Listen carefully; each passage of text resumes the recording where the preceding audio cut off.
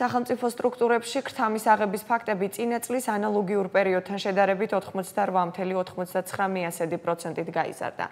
მონაცემებს შინაგან საქმეთა სამინისტრო ავრცელებს წელს 34 ასეთი ფაქტი დაფიქსირდა. მიმდინარე წლის იანვარ-მარტში ქრთამის აღების 34, სამსახურეობრივი უფლებამოსილების ბოროტად გამოყენების 28, სამსახურეობრივი გულგრილობის 15, სამსახურეობრივი სიყალბის 7, ქრთამის მიცემის 4 ფაქტი დაფიქსირდა.